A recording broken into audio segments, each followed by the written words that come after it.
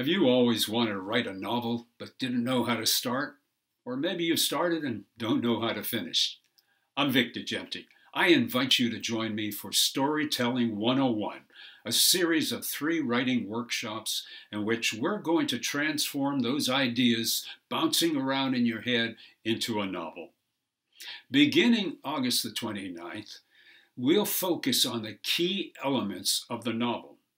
Now, I've titled these workshops Storytelling 101 because, in essence, writers are nothing more or less than good storytellers. Writers who know how to create characters that jump off the page and write scenes crackling with tension and conflict are the ones that are going to sell more books that keep the reader turning pages. Now, there are no secret formulas or magic spells that turn our manuscripts into bestsellers.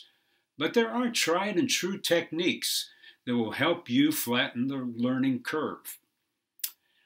In our very first session, we'll examine plot, structure, and creating characters.